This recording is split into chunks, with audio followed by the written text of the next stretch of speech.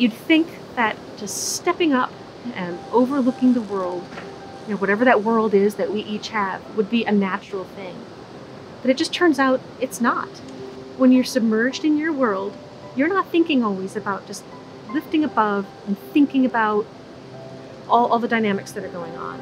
And so for me here in Fishtown, I think of getting on the balcony, I quite literally find myself often just rising above and see what's going on with the river.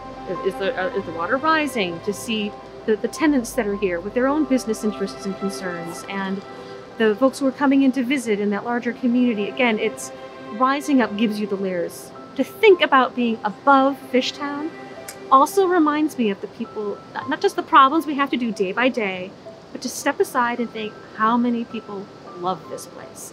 And to take in that as well. So it's not just dealing with problems, it's also remembering and dealing with the good things and enhancing those. That the part of the Rotary leadership is emphasizing every once in a while, more often than people might normally do, just step back and and lift up a little bit and look around and take stock. And that can be what's going well, what's not going well, what are things that you want to see movement in, what are things that you're being you're like sometimes it can feel down here you're just grabbing the tail and you're just being pulled around to all these emergencies and urgent things. And stepping back and being more thoughtful in how you're approaching these things. And it's also recognizing you're an individual you're a human being with emotions and concerns and a lack of sleep and meetings the next day and people you've got and money you have to raise. Of how does that feel inside? Because so uh, we're carrying tensions with us. So we can have very you don't want that to impact interactions that you're having with people or rush decisions. It just gives you a chance to to step back and take stock. And dealing with covid you know, starting back in march even that has been a changing dynamic the whole way.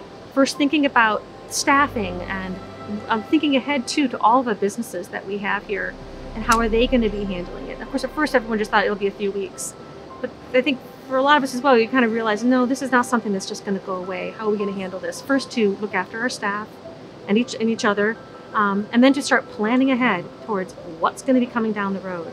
And one of the early steps that we took, um, realizing because they were worried, and it's like, well, what can we do right now that will calm that worry? Not thinking one business at a time, but we actually lowered all of their rents, um, gave this year 40%, just off the bat and just lowered it down. We just had to be ready to shift gears and, and shift perspectives in order to be able to do what we could for them.